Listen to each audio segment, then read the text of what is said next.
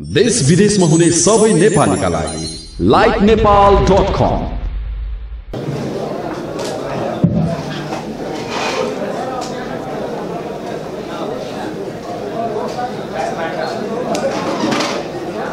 र ऊर्जासँग सम्बन्धित पक्षहरूलाई पनि समेटेर दुई वर्षभित्र गरिने कामहरूको चाहिँ हामीले ठोस योजना हामीले प्रस्तुत गरेका छौँ। उपलब्ध गराउने कुरादेखि काठमाडौँ उपत्यकाभित्र गरिने प्रगति सवारी साधनसँग सम्बन्धितदेखि सबै भागमा विद्युतीकरण गर्ने कामहरू कर्णाली गण्डकी कोशी कोरिडोर र मध्य पहाडी पुष्पलाल राजमार्गको उच्च क्षमताका प्रसारण लाइन जडान गरे यस्ता कामहरू हामीले तिन वर्षभित्र पुरा गर्ने भनेर लिस्ट दिइएको छ। मैले यहाँ अहिले सबै पढिनँ मैले खालि यसको चित्र मात्रै प्रस्तुत गर्न चाहेको छु। त्यसपछि हामीले पाँच वर्षभित्र पुरा गर्ने कामहरू भएर पाँच वर्षको लागि त्यहाँ हामीले ठोस ठोस योजनाहरू कार्यक्रमहरू प्रस्तुत गरेका छौँ। त्यसपछि हामीले दस वर्षभित्र चाहिँ नेपालमा के कति काम गर्न सकिन्छ भएर मुख्यतः दसवटा कामलाई केन्द्रित गरेर हामीले लगेका छौँ र यसो गर्दा हाम्रो टार्गेट चाहिँ दस वर्षभित्र प्रत्येक नेपालीको वार्षिक आय कम्तीमा पनि पाँच हजार डलर पुर्याउन सकिन्छ पुर्याउन पर्छ भन्ने उद्देश्यको साथ सबै क्षेत्रमा हामीले ठोस कार्यक्रमहरू अगाडि सारेका छौँ। त्यस्तै गरी स्वास्थ्य क्षेत्रमा किनकि हाम्रो संविधानले शिक्षा स्वास्थ्य रोजगारीलाई मौलिक अधिकारको रूपमा परिभाषित गरेको छ। त्यसकारण हामीले स्वास्थ्य क्षेत्रमा हामीले गर्ने कामहरूको फेयरलिस्ट पनि हामीले त्यहाँ प्रस्तुत गरेका छौँ। त्यसपछि मानव संसाधन विकासको क्षेत्रमा हामीले गर्ने कामहरूको बारेमा ठोस योजना हामीले प्रस्तुत गरेका छौँ। त्यसै गरी युवा र खेलकुद विकाससँग सम्बन्धित कामहरूलाई पनि प्राथमिकताका साथ सूचीकृत गरिएको छ र हामीले आउने पाँच वर्षमा गर्ने कामहरूको प्राथमिकता क्रम निर्धारण गरेका छौँ।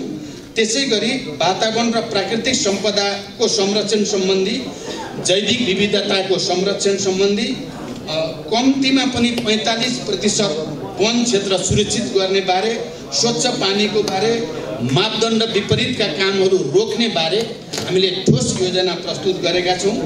त्यसै गरिकन सक्षम प्रदेश बनाउने र अधिकार सम्पन्न स्थानीय सरकारको अवधारणा अन्तर्गत हामीले प्रदेश र स्थानीय तहमा गरिने कामहरूको प्राथमिकीकरण र त्यसको सूचीकरण पनि हामीले गरेका छौँ। जनताको चेतना अभिवृद्धिको निम्ति सदुपयोग गर्ने नीति हामीले अगाडि सारेका छौँ। सूचना प्रविधिलाई आम नागरिकको पहुँचमा पुर्याउनै पर्छ भन्ने मान्यताको साथ हामी अगाडि बढ्दैछौँ भुला तथा मातृभाषामा प्रकाशन हुने पत्र पत्रिकालाई अनुदानको व्यवस्था गर्ने नीति पनि हामीले अघि सारेका छौँ। त्यसै गरी सुशासनको क्षेत्रमा पनि विधिको शासन सुदृढ तुल्याउने कर्मचारी प्रशासनलाई व्यवसाय कुशल र सुविधा सम्पन्न बनाउनेदेखि अन्य गर्ने कामहरू जनताको निम्ति सुशासनबाट प्रत्यक्ष लाभ कुन क्षेत्रमा कसरी दिनुपर्छ भन्ने बारेमा पनि हामीले ठोस विषयहरू कार्यक्रमहरू अगाडि सारेका छौँ। हामीले तराई मधेस पहाड हिमाल सबैलाई जोडेर नेपालका सबै जात जाति भाषा भाषी क्षेत्र वर्ग समुदाय सबैलाई अधिकार सम्पन्न तुल्याउने कुरा। सबैलाई समानताको अनुभूति हुने कुरामा हाम्रो ध्यान केन्द्रित रहेको छ। अनि यसको साथै उपभोक्ताहरूको हितलाई केन्द्रबिन्दुमा राखेर सरकारको तर्फबाट गर्न पर्ने र गर्न सकिने कुराहरूको प्राथमिकीकरण पनि हामीले घोषणा पत्रमा गरेका छौँ। त्यसै गरी पुनर्निर्माण र विपद व्यवस्थापनमा पनि हामीले केही ठोस नीति र हाम्रा उद्देश्यहरू अगाडि सारेका छौँ। त्यसमा खास गरिकन अन्य विषयको साथसाथै विनाशकारी भूकम्प बाढी पहिरोबाट क्षति भएका प्रत्येक परिवारलाई घर निर्माणका लागि तत्काल तिन लाख अनुदान र तिन लाख दीर्घकालीन निर्व्याजी ऋणको व्यवस्था गर्ने नीति अघि सारेका छौँ। यसलाई हामीले एकरूपतामा ल्याउने कोसिस गरेका छौँ र अन्य विषय अगाडि सारेको छौँ।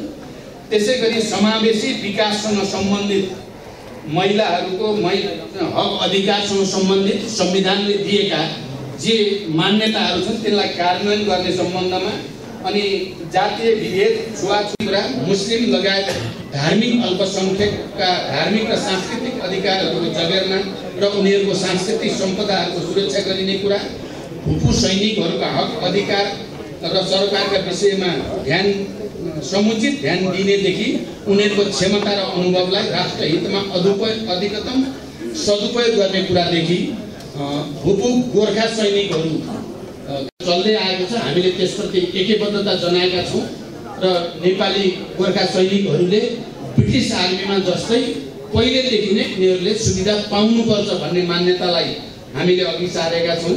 अनि राष्ट्रिय हित र स्वाधीनताको विषयमा राष्ट्रिय स्वाधीनता सार्वभौमसत्ता भौगोलिक अखण्डताको रक्षा प्राकृतिक सम्पदाको जगेर्ना सामाजिक सद्भाव र मानवीय सुरक्षा सुनिश्चित हुने गरी राष्ट्रिय सुरक्षा नीतिको विकास गर्ने कुरा आन्तरिक एकतालाई सुदृढ गर्दै राष्ट्रिय एकतालाई दरिलो पार्ने कुरा नेपाली सेनालाई साधन सम्पन्न तुल्याएर आधुनिक बनाउने कुरा गाउँ नगरपालिकाको स्थानीय प्रहरीको व्यवस्था गरेर जनतालाई आम रूपमा सुरक्षा प्रत्याभूत गर्ने कुरा स्वतन्त्र र सन्तुलित अन्तर्राष्ट्रिय सम्बन्ध खास गरी विश्व शान्ति मानवता सद्भाव र मैत्रीपूर्ण सम्बन्धलाई विस्तार गर्दै नेपालको विकास र नेपाली जनताको समृद्धिमा योगदान पुर्याउने गरी अन्तर्राष्ट्रिय सम्बन्ध र परराष्ट्र नीतिलाई व्यवस्थित गरिने कुरा राष्ट्रिय हित स्वाधीनता र सार्वभौमता रक्षा गर्दै छिमेकी एवं सबै मित्र राष्ट्रहरूसँग संयुक्त राष्ट्रसङ्घको बडापत्र पञ्चशील र असम्मतताका सिद्धान्त अनुरूप सुमधुर सम्बन्ध कायम गर्ने नीतिमा हामी दृढ रहने कुरा गरिएको छ। सहन सकिने छैन भन्ने कुरालाई स्पष्ट गरिएको छ। भारतसँग भएको सन् उन्नाइस सय पचासको सन्धि लगायत सबै असमान सन्धि र सम्झौताको पुनरावलोकन गरी राष्ट्रिय हित र आवश्यकता अनुसार प्रतिस्थापन गर्ने नीति हामीले अघि सारेका छौँ। सीमा समस्याको समाधान र सीमा नाकाहरूको व्यवस्थापनका लागि कुटनीतिक पहल बढाउने कुरा गरिएको छ। गैर नेपालीहरूको ज्ञान सिप र आर्जनलाई राष्ट्र निर्माणमा लगाउने नीति लिइनेछ भनेर हामीले प्रष्ट रूपमा भनेका छौँ। त्यस्तै राजनीतिक पार्टी र प्रवृत्तिको सन्दर्भमा नेपालको राष्ट्रिय राजनीति मुख्यतः दुई प्रवृत्तिमा ध्रुवीकृत भएको कुरा हामीले गरेका छौँ। एकातिर नेकपा माओवादी केन्द्र नेकपा एमाले एउटा ध्रुवको एउटा वैचारिक धाराको प्रतिनिधित्व गर्दछ भने अर्को प्रवृत्तिको प्रतिनिधित्व नेपाली कङ्ग्रेसले गरेको कुरा गरेका छौँ हामीले। तर कुनै पार्टीलाई हामीले तल उत्रेर आलोचना गर्ने गरेका छैनौँ। त्यो धाराको रूपमा दुईवटा धार एउटा वामपन्थी धार अर्को दक्षिणपन्थी धार। यो दुईवटा धारको रूपमा एकातिर नेकपा एमाले र माओवादी केन्द्र अर्कातिर नेपाली कङ्ग्रेस रहेको मात्रै कुरा गरेका छौँ यद्यपि हाम्रा चाहिँ अहिले सरकारको नेतृत्व गर्ने पार्टीले अलि चाहिँ बढी नै हाम्रो गठबन्धनको उद्देश्य हाम्रो शान्तिपूर्ण प्रतिस्पर्धा मार्फत समाजवादतिर अगाडि बढ्ने हाम्रो उद्देश्यको बारेमा थुप्रै भ्रामक प्रचारवादी भएका छन्। तिनको खण्डन आलोचना हामी संयमित रूपमा संविधानको मर्म र भावनाभित्र रहेर शान्तिपूर्ण प्रतिस्पर्धा मार्फत जाने उद्देश्यमा स्पष्ट हुँदै हामी गर्दै नै जानेछौँ। अहिले हामी तल उत्रेर गाली गर्ने पक्षमा बिल्कुल छैनौँ र हामी अन्तिममा राष्ट्र निर्माणको निम्ति सम्पूर्ण रूपले समर्पित भएर छिटोभन्दा छिटो सामाजिक न्यायसहितको आर्थिक समृद्धि राजनीतिक स्थायीको कायम गर्ने उद्देश्यमा नै हाम्रो घोषणापत्र मूलभूत रूपमा केन्द्रित भएको जानकारी गराउँदै म मेरो भनाइ टुङ्ग्याउँछु। धन्यवाद अभिवादन।